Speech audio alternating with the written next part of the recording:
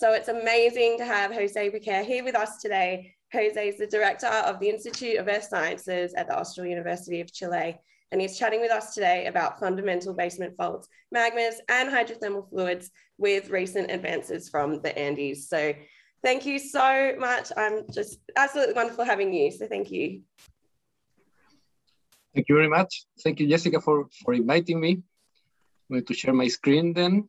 So yeah, thank you very much, uh, Jessica, for, for inviting me, and thank you for everyone who is uh, attending this, this presentation from anywhere in the world. Um, so the idea of this uh, presentation is to show you some uh, recent works done during the last couple of years about uh, here in, in, the Andes, uh, trying to, to understand this relationship between long-lived fault systems present in the, in the basement of the Andes, um, which were there before the initiation of the Andean uh, orogenic cycle, and the emplacement of uh, magmatic hydrothermal systems. So um, I just want to begin with this to just to, to clarify if any of you is interested in, in, in reading some papers about this topic here in the Andes, you will find a lot of like different terminology uh, in, in different with, from different authors to refer to the same type of structures essentially. So what I'm calling here in the presentation like fundamental basement faults or fundamental basement structures following the, the terminology of, of uh, authors like McCuaig and, and Hronsky in Australia. Um, uh, here in the Andes, different authors have used, for example, the term translithospheric faults, TLFs, or ETL in, in Spanish, um, or Andean transfer faults, ATFs, or arc-oblique long-lived fault systems like ALFS. And all of these terms refer to exactly the same type of, of structures. They refer to these long-lived faults which were present uh, in the basement of the of, of the Andes in, in, in which were there before the, at least before the Jurassic, which is commonly understood as the, as the initiation of the Andean orogenic cycle in, the, in what was then the, the margin of Gondwana. So uh, what is a, a, fundamental basement fault? Uh, as I was saying before, is a long-lived fault system, which in the case of, of, of the Andes, commonly basement faults are uh, faults which were active at least uh, before the Jurassic, which is commonly, as I said before, uh, understood as the, the point in time in which the Andean orogenic cycle began. They have a high dip angle, um, and their origin is in many cases still a, a matter of, of debate. Uh, in some cases, they are thought to have originated as uh, suture zones between different blocks of continental crust accreted to the to the to what was then in the case of the Andes the the southwestern margin of Gondwana. Um, in some other cases, it has been proposed that they were originated as, as master faults and transfer faults of uh, continental scale uh, rift systems, which were active in this area mainly during the Triassic and, and early Jurassic. Um, but independent of their uh, origin, they, they share some characteristics like they have a long trace. They can be followed by hundreds of kilometers, but commonly they show small displacements at the present day surface. So this, which might appear like a contradiction, uh, this is because what we see at the surface is the result of, of the reactivation of an older, deeper fault, which then has to propagate vertically through all the uh, sedimentary and volcanic cover, which is uh, accumulating on top of the, of the basement rocks. So commonly what we see at the surface uh, in, in places like the Andes, where, where we have thousands of um, volcanic and sedimentary units uh, accumulated on top of the basement rocks, um, what we see at the surface is then an, an anastomose geometry, several individual small scale faults, uh, which are not the obvious and continuous faults commonly uh, shown on the geological maps. In many cases, they are not present on the geological maps, like from the geological service, for example. Um, they, when, when, we have outcrops of uh, blocks of, of basement rocks, uh, like Proterozoic or Paleozoic rocks uh, cropping out in the Andes, commonly they are bounded by these fundamental basement faults, uh, which controls the, the uplift of these basement blocks. Also, sometimes the, the traces can be inferred from violent changes in the stratigraphic facies and, and thicknesses Um, and this is because these are high angle faults, which tend to be easily reactivated as, as normal faults when the continental margin is under extension. So they intend to accommodate, the, to act as basin bounding faults. They, uh, they control the distribution of, of major depocenters where stratigraphic units accumulate. So sometimes their, their presence can be inferred from these violent changes in the stratigraphy, even if the fault itself is not mapped, is not recognized in the geological maps. Sometimes also their presence can be inferred from uh, violent discontinuities or inflections on younger faults, like in the case of the Andes, of the Chilean Andes, like north striking faults related with the different uh, uh, compressive events associated with the uplift of the Andes. These younger faults, uh, in many places, they show uh, very sharp uh, discontinuities, changes in their strike or in their dip direction or in their kinematics. And in many cases, that is associated with the interference between these younger faults and shallower faults with a deep-seated fundamental basement fault.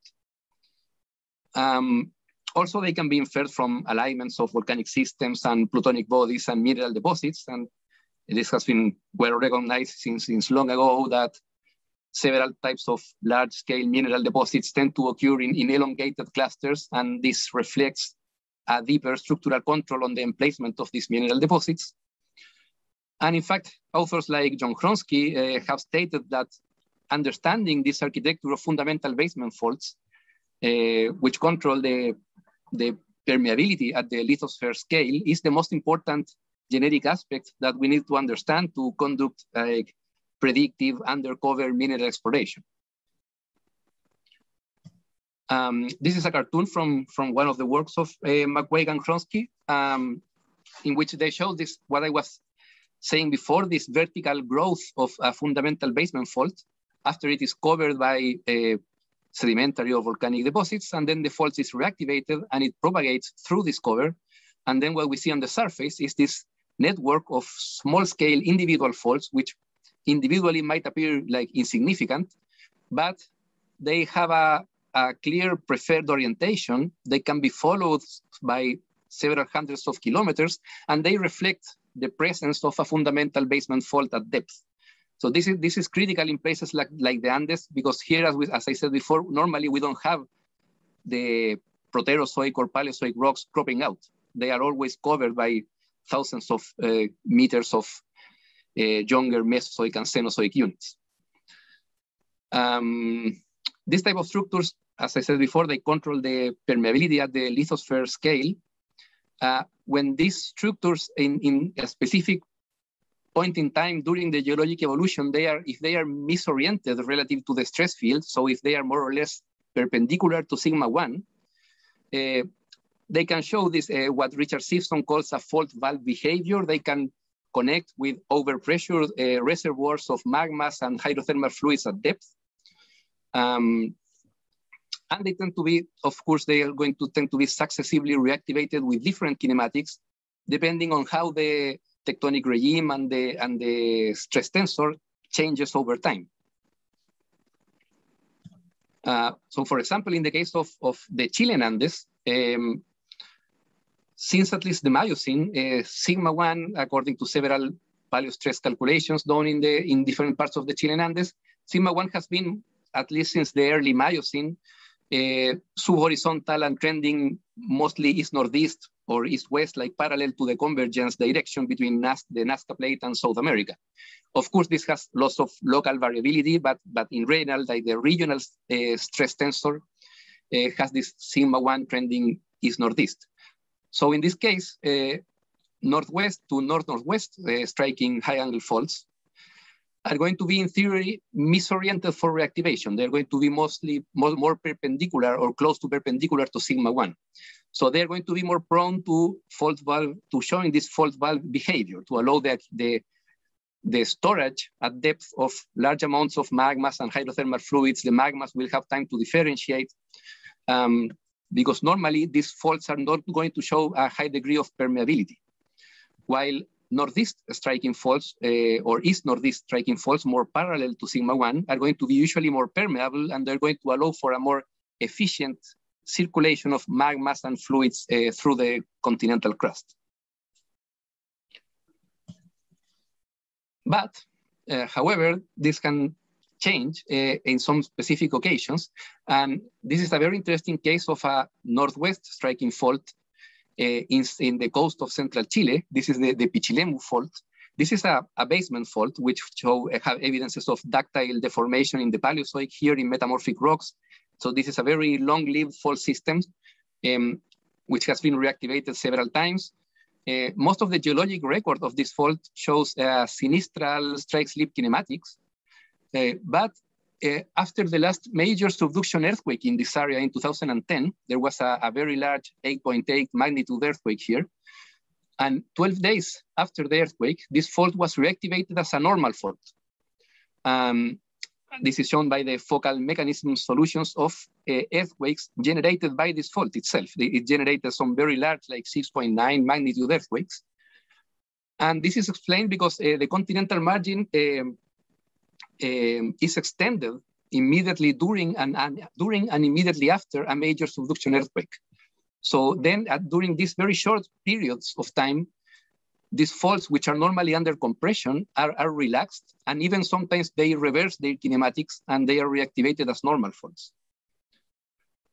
And I'm going to go, go back to this later because it's, it's, very relevant for the relationship between these faults and different types of magmatic hydrothermal products. So that was like an, an introduction, and now I'm going, I'm going to go specifically to show some studies done in different parts of the Andes, beginning with central Chile.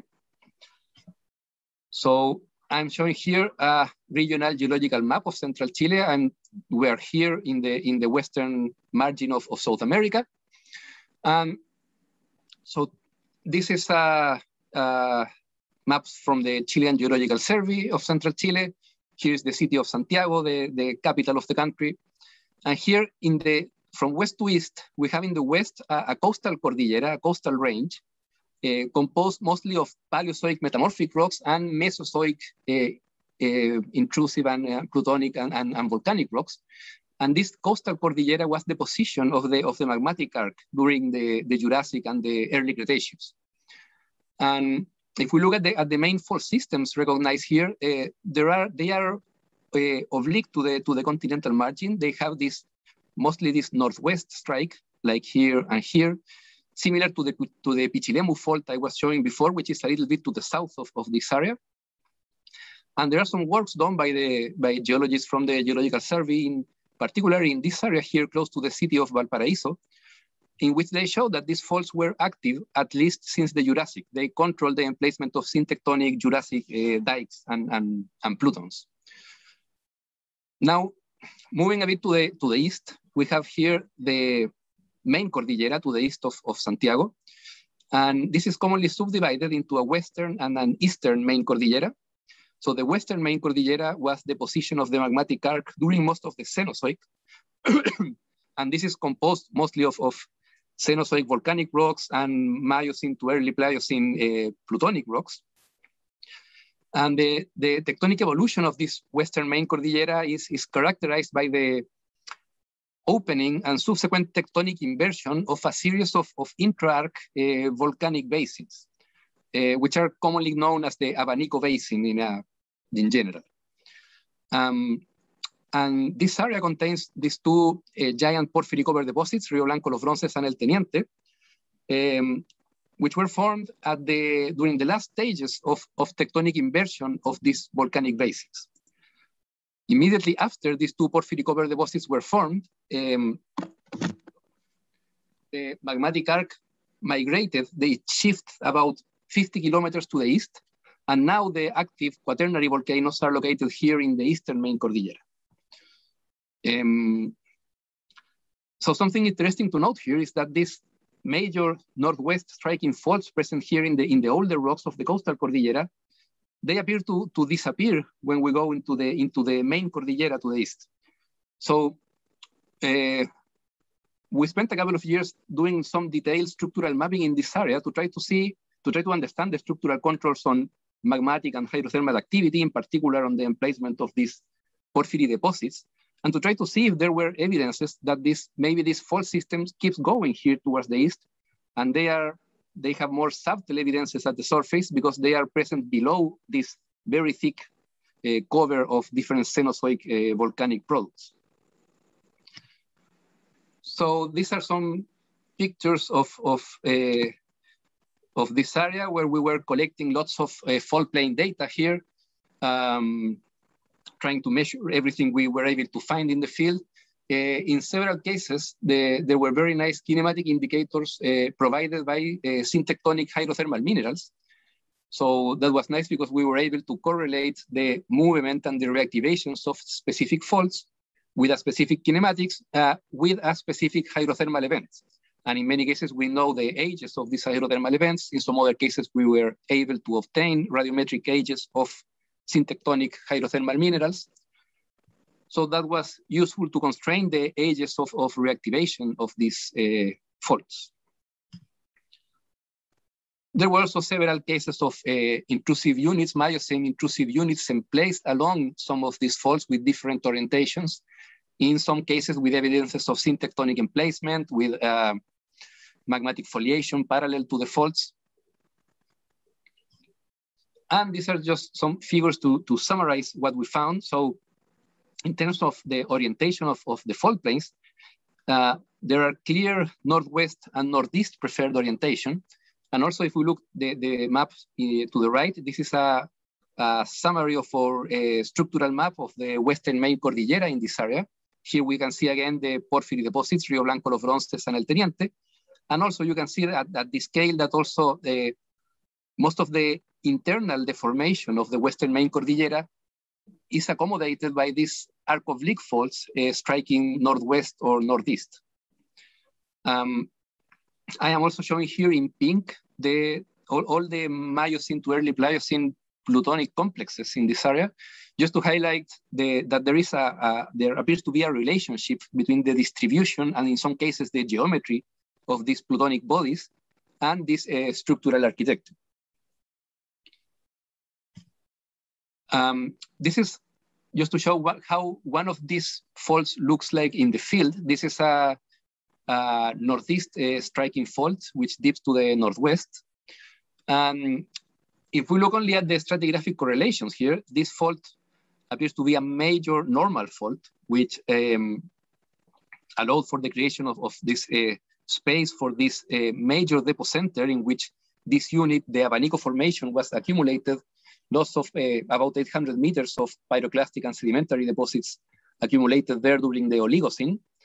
And these deposits are not present in the, in the footwall of the, of the fault.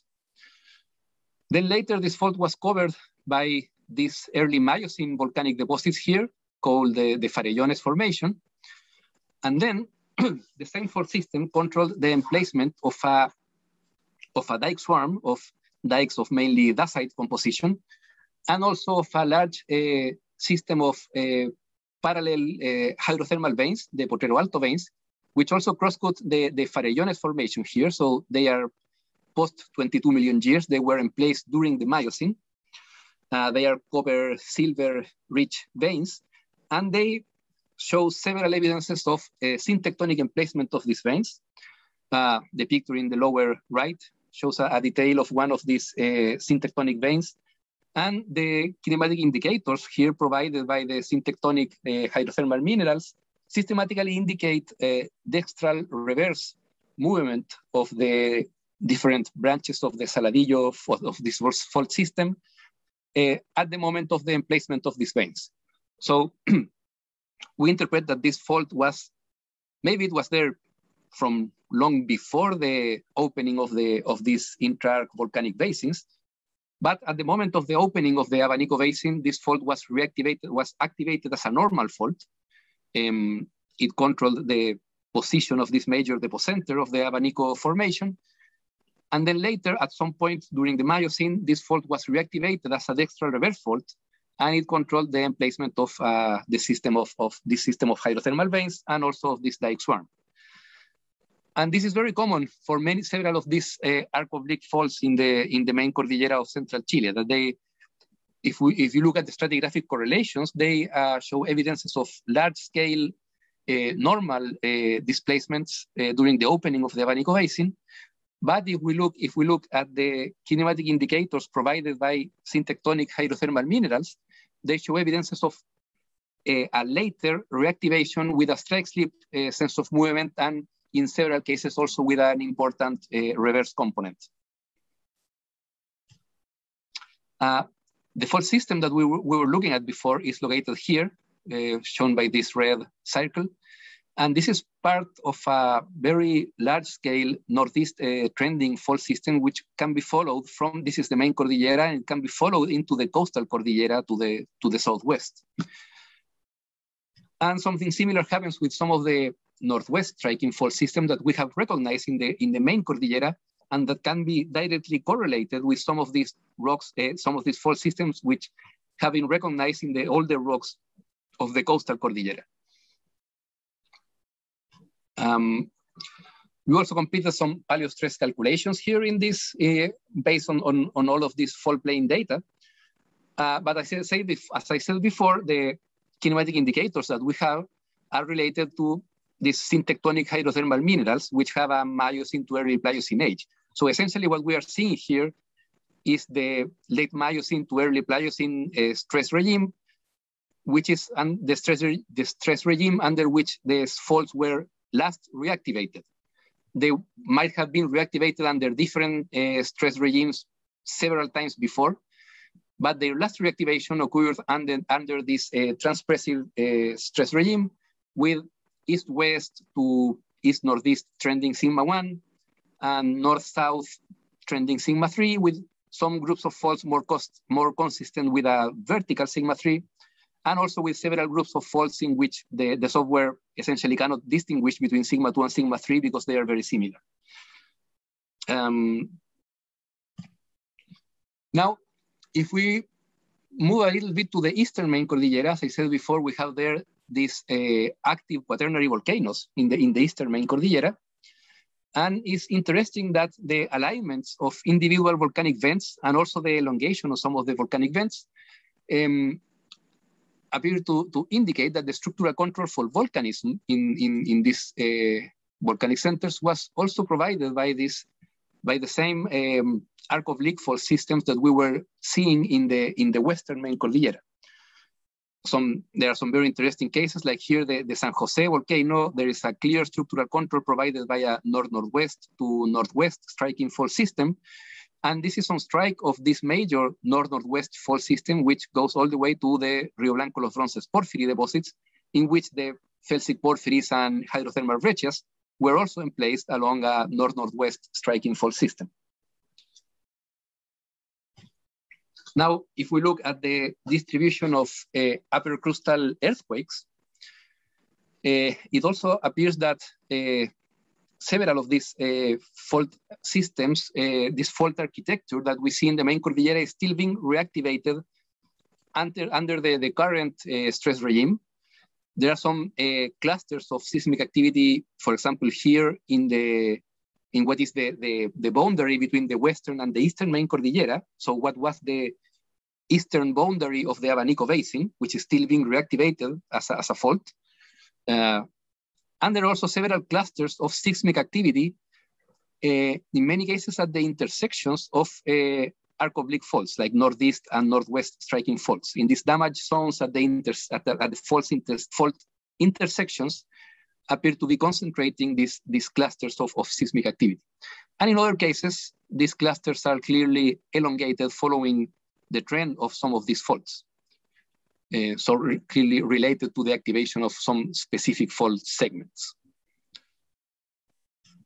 Um, there are also evidences of neotectonic activity from these faults provided by these works, like this one from Lavenu and Cembrano, where they show that some of the river terraces, like quaternary deposits um, of the Maipo River Valley here to the east of Santiago, are crosscut by faults, uh, in this case by northeast striking faults, which are part of this major northeast uh, striking fault here.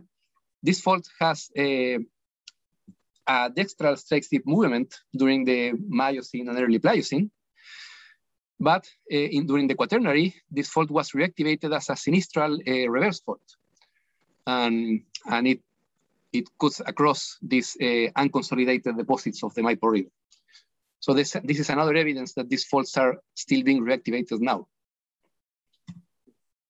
Um, now I want to show some studies that we have been doing in one specific fault system in this part of the Andes. Um, here we have El Teniente again, and a little bit to the north of El Teniente is this Piuquencillo uh, fault system.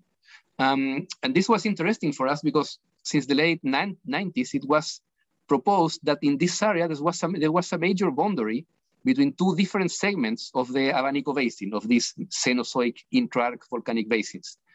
Um, and later studies shown that if, uh, that was correct, that the stratigraphy, the ages of the stratigraphic units, and the timing also of the tectonic inversion of these basins is very different to the north and to the south of this area. But still, there were very few uh, field evidences about this fault system. This is an area, a particularly complicated area for uh, the access to this area is particularly complicated. Uh, in, the, in the Cordillera, there are no roads or anything.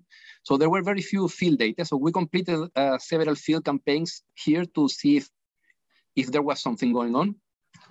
Um, these are some of the some field photos from those campaigns. These are several individual fault planes, all of them more or less parallel, trending west-northwest, parallel to this inferred trend of the Piuquencillo fault system. The picture in the upper left shows one of the most uh, uh, beautiful expressions at the surface of one of the branches of this fault system. And the kinematic indicators normally uh, show a sinistral strike movement, uh, sometimes with a minor dip slip uh, component. Uh, this fault also controls the emplacement of beautiful systems of uh, epithermal intermediate sulfidation veins. Uh, these are veins very rich in, rich in copper, silver, and, and lead. Um, they're very important like in, the, in terms of uh, historical mining activity in this area. And they were syntectonically emplaced along branches of the Piuquencillo fault system. They show evidences of uh, syntectonic emplacement during, again, during sinistral uh, reactivations of these faults. Uh, preferred orientation of fault planes in the area clearly show this west-northwest trend parallel to the inferred orientation of the basement fault at depth. And the stress regime under this fault was re last reactivated is consistent with this the paleo stress calculation for, the, from the more uh, regional data was reactivated under essentially a strike slip regime with more or less east-west trending sigma 1 and north-south to north-northwest trending sigma 3. Now, if we look at a larger scale, the Piuquencillo fault system was defined here in the, in the western main Cordillera, but this can be directly correlated with the Valparaíso fault system, which is this fault system I was uh, speaking about uh, before, which have evidences of uh, activity at least since the Jurassic here in the coastal ranges, and they probably belong to the same continental scale discontinuity. And several interesting things happen along this discontinuity from, from east to west. We have here the Maipo volcano. Here is the Escalones prospect. This is a skarn prospect uh, associated with uh, late Miocene intrusions and placed into uh, Mesozoic sedimentary rocks. Then we have here the San Pedro de Nolasco vein district, the veins I was showing before. This is the Carlota intrusive complex, a late Miocene uh, uh, intrusive multi-phase plutonic complex. Then we have here the Lo Aguirre stratabound deposits. Uh, it's a early Cretaceous uh, the, the deposit. And then more to the northwest, we have here the Antenna district. This is a, a district of uh, gold-rich quartz veins emplaced during the Jurassic. So all of this occurring along this uh, continental scale discontinuity. Uh, now, earlier this year, there was a publication from Argentinian geologists, which they proposed that the existence of what they call the El Sosneado Melipilla lineament. And here, here we have, here is Santiago. So Valparaíso will be here. So this is this correlates very well with the Valparaíso fault system and the Piuquencillo fault system will be around here with a slightly different strike, but it might be part of the same structure that they propose keeps going several hundreds of kilometers to the southeast into Argentina. And they say that this is a major boundary between contrasting uh, rift stratigraphic sequences accumulated in this area during the Triassic and early Jurassic. So it's very likely that this is a, a, a fundamental basement fault uh, cutting across the entire orogenic system. Now, if this is a, an interesting case uh, in an area about 100 kilometers to the south of El Teniente, and here, it, this is interesting because it shows how uh, geophysics can also be used to infer the position of these fundamental basement faults. Here, the map to the left shows again the distribution of uh, upper crustal earthquakes. And there is this cluster of earthquakes here, uh, beautifully elongated in a west-northwest uh, direction. Um, then this uh, upper right uh, panel shows the magnetotelluric data and uh, this shows these uh, large areas of low resistivity, which the authors, uh, Rebecca Pearce and others, interpret as uh, reservoirs of uh, hydrothermal fluids at depth. And this lower right panel shows their interpretation for this area. And they postulate here a major uh, west-northwest striking ATF, what they call ATFs, Andean transfer faults, or fundamental basement faults, um, and they say that this is a misoriented fault relative to the present day uh, orientation of sigma 1. So this fault normally is not being reactivated and it allows the accumulation of these large reservoirs of hydrothermal fluids at depth until these hydrothermal fluids reach a critical fluid overpressure and then they produce the reactivation of this uh, misoriented fault, mainly as a sinistral strike slip fault. And then this fault generates all these earthquakes that we see on the left. And something interesting is that directly on strike of this proposed fundamental basement fault, there is a porphyry copper prospect, the Teno porphyry prospect, uh, which is of early Miocene age. And it was uh, studied in detail by a master thesis of Rocio Núñez. And uh, what I'm showing here is the, the fault plane measurements that she collected in the porphyry itself in this alteration zone. And you can see that clearly one of the preferred orientations is west-northwest, uh, parallel to this trend of uh, shown by the earthquakes. So maybe this fault is not really totally blind. There, there are evidences at the surface also. Um, and this is another example even more to the south, about 100 kilometers more to the south, uh, a major lineament which has been recognized since long ago, uh, the Laguna Fea San Pedro lineament, uh, which appear to be cutting across also the entire orogenic system and related with uh, the distribution of volcanism in this area. And we had a, a student doing lots of field work here recently, uh, collecting structural data. Um, and he was able to find beautiful evidences of this fault system at the surface uh, with different reactivations under different kinematics, uh, under different stress regimes. Um, also, it controls the emplacement of different types of uh, magmatic bodies and hydrothermal alteration zones. This is just one example of a set of uh, rhyolitic dikes emplaced along these faults uh, with an early Pliocene age. And, and this is a, a, structural map of the area. So what is shown here in yellow is the Laguna Fea San Pedro fault system. Um, Mainly the, the, the last reactivation again is a sinistral strike, slip, but as I said before, it has preserves evidences of reactivations with different kinematics uh, before. And uh, some very interesting things happens uh, associated with this fault system. For example, here, um, this map shows in, in these uh, orange triangles represent active volcanic vents. So this is a large volcanic field here and this fault appears to be acting as the southern uh, boundary for this large volcanic field. And to the south of the fault, volcanic activity disappears in this area. And the axis of the magmatic arc also shifts uh, several kilometers to the west. Um, and also, if we move to the northwest here, these uh, orange stars show a, a cluster of, of, por of porphyry copper prospects in this area. They are of late Miocene age. This is in in fact, uh, the southernmost uh, cluster of porphyry, the porphyry systems of the entire Miocene to early Pliocene belt of porphyry deposits of central Chile. And again, the, this fault system appears to be acting as the southern boundary of this uh, cluster of porphyry deposits.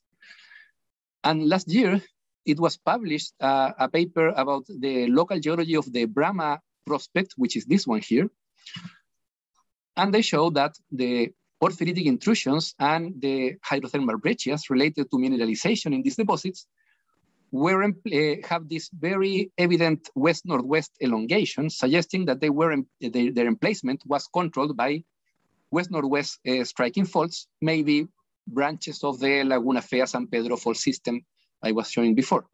And they say that these northwest uh, striking structures are the dominant structural feature at the local scale in the deposit. Now, I want to show you a little bit of uh, what has been done in terms of the relationship between, again, fault systems and, and magmatic hydrothermal activity in southern Chile. This is an area in which we don't have porphyry deposits. We have some beautiful volcanoes and lakes and forests, but no porphyry deposits. But it's a very interesting area to study this, this, this topic. Um, so in this area, there is a major arc parallel uh, strike slip fault system, the Liquiñe-Ofqui fault, which follows the axis of the active magmatic arc. And the largest uh, volcanic complexes are built in places where this uh, arc parallel fault system intersects arc oblique faults, which are shown here in light blue lines.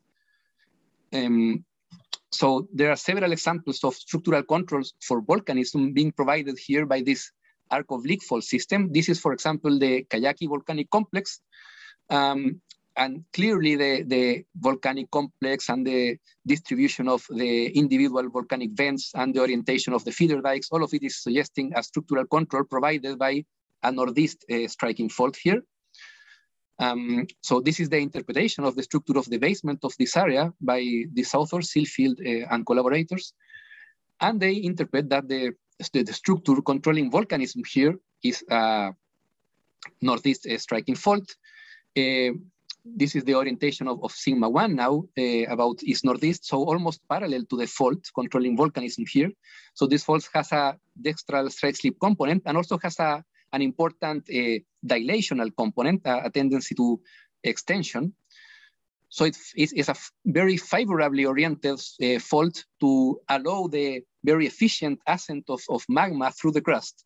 And consistent with that, the volcanic products that we see here are very primitive in nature. They are mostly basaltic andesite with almost no crustal contamination and related to the, like very quiet, effusive uh, volcanism.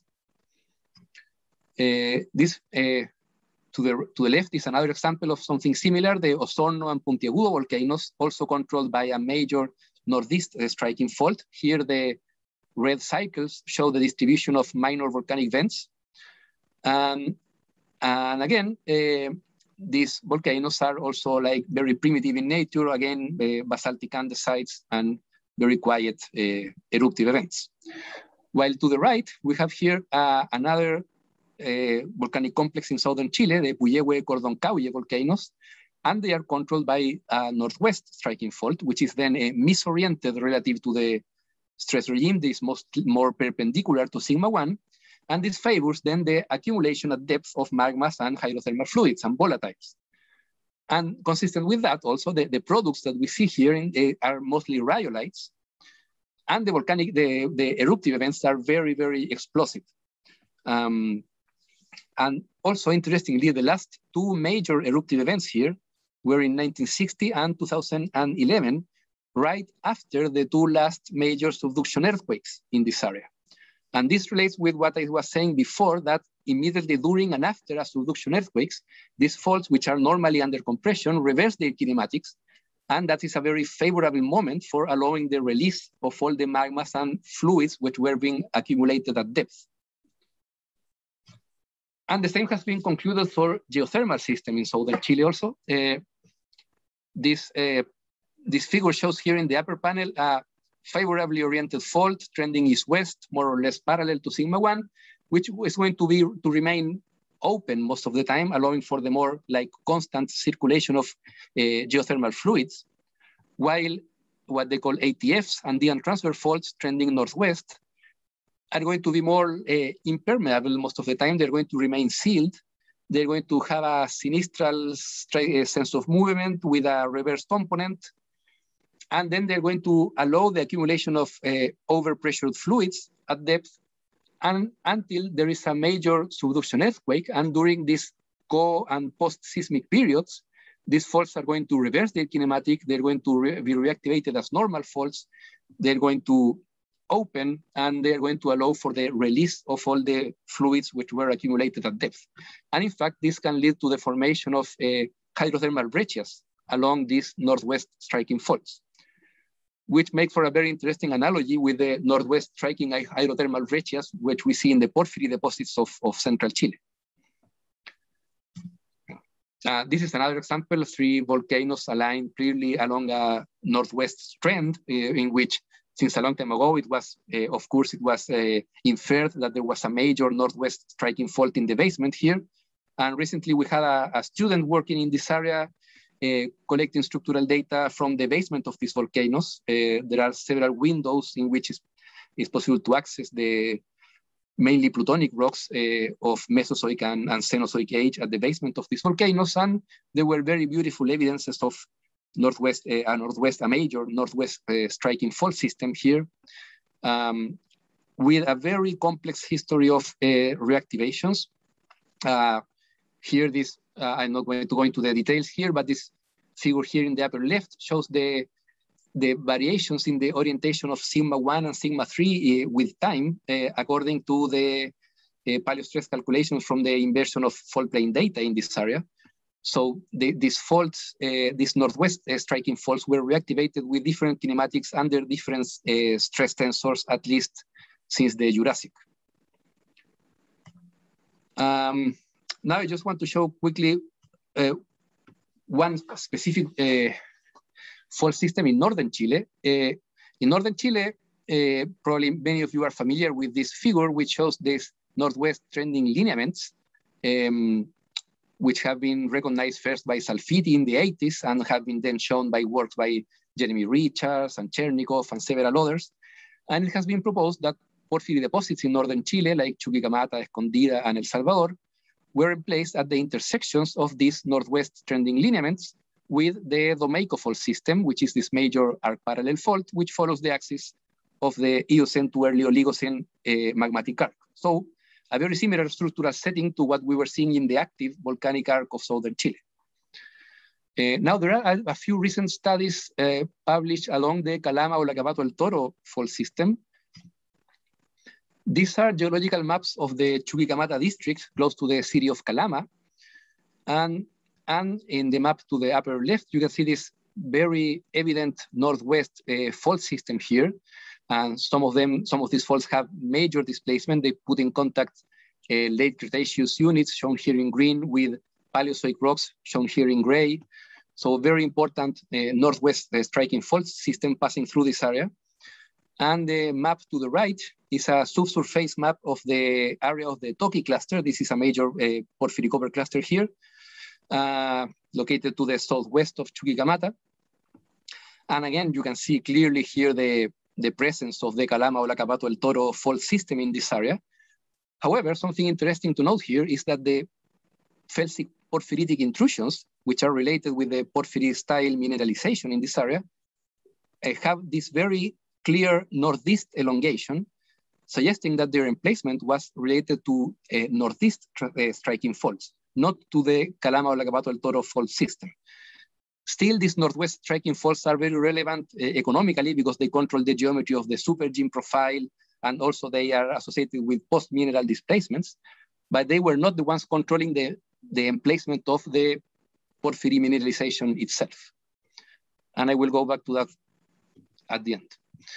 Um, and this is uh, some work which have been done in the Argentinian side of the Andes along the same Calama or El Toro fault system, and there is now a lot of field data here showing the, the, that this is really a major fault system, mostly with a strike slip kinematics during the Miocene.